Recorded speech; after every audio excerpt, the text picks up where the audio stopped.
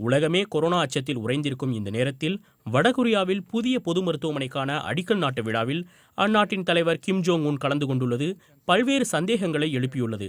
உலகம் முழுவதும் இரண்டு லட்சத்துக்கும் அதிகமானோர் கொரோனாவால் பாதிக்கப்பட்டுள்ளனர். உயிரிழந்தவர்களின் எண்ணிக்கை எட்டாயிரத்தை கடந்துவிட்டது.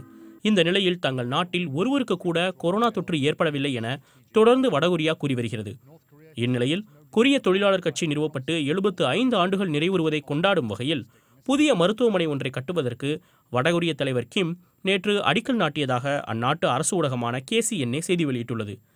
நாட்டின் சுகாதார கட்டமைப்பை வலுப்படுத்தும் முக்கிய வேலை இது என செய்தி வெளியிட்டுள்ள அந்த செய்தி முகமை முகமுடி அணியாமல் மண்வெட்டியுடன் கிம் தோன்றும் புகைப்படத்தையும் வெளியிட்டுள்ளது. நாட்டின் பொது சுகாதாரத்தை மேம்படுத்துவது மிக முக்கியமான வேலை என வடகொரிய தலைவர் கிம் ஜோங் உன் தெரிவித்துள்ளார். வடகொரியா சுகாதார வசதிகளில் பின்தங்கியிருக்கிறது. அதை உடனடியாக சரி செய்ய வேண்டும் என்பதை மறைமுகமாக உணர்த்தும் வகையில் இந்த விழாவில் பேசிய கிம்மின் உரை இருந்தது. சிறப்பான சுகாதார கட்டமைப்புகள் கொண்ட சில நாடுகளே கொரோனாவை கட்டுப்படுத்த முடியாமல் திணறி வரும் வேளையில் போதிய சுகாதார வசதிகள் இல்லாத கொரோனாவால் அதிகம் பாதிக்கப்பட்ட சீனா மற்றும் தென்கொரியாவுடன் எல்லைகளை பகிர்ந்து கொள்ளக்கூடிய வடகொரியா தங்கள் நாட்டில் கொரோனா தொற்றே இல்லை என கூறுவது நம்பும்படியாக இல்லை என சர்வதேச நிபுணர்கள் தெரிவிக்கின்றனர். தங்களின் பொது சுகாதார அமைப்பு உலகத்தரத்திலானது என வடகொரியா கூறிக்கொள்கிறது. ஆனால் அந்த நாட்டின் சில மருத்துவமனைகளில் மின்சாரம் மற்றும் தண்ணீருக்கு கூட தட்டுப்பாடு நிலவுவதாக அவர்கள் தெரிவிக்கின்றனர்.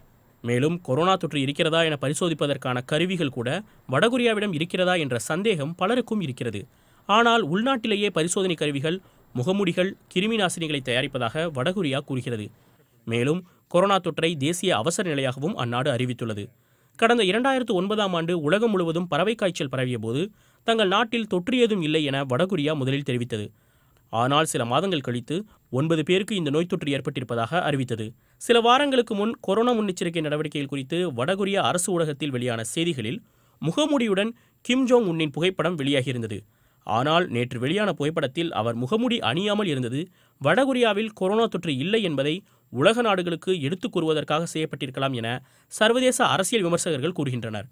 கொரோனா தொற்றே இல்லை என கூறி வரும் வடகொரியா நாட்டில் உள்ள அனைத்து பள்ளிகளுக்கும் விடுமுறை காலத்தை நீட்டித்துள்ளது.